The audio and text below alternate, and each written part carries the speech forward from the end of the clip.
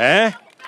Kwanza mimi nataka nishukuru waalimu wetu kwa sababu tumeanzisha hii that term ya shule na waalimu, kuna mambo tulikuwa tumekubaliana na wao, mambo yao yote sasa kama serikali tumeyatatua.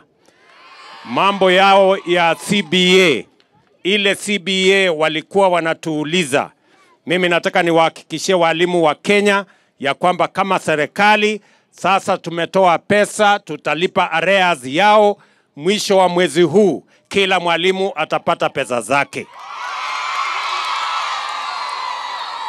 Na mimi nataka nishukuru watu wa Kenya National Union of Teachers kwa sababu wamekubaliana na sisi.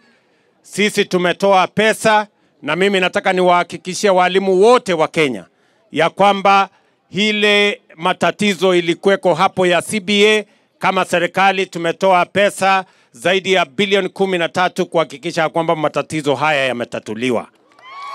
Kwa hivyo tunataka waalimu wetu wote pamoja na wanafunzi wetu waendelee na masomo na taratibu iliyowekwa ya semesta ya tatu bila ya matatizo yoyote.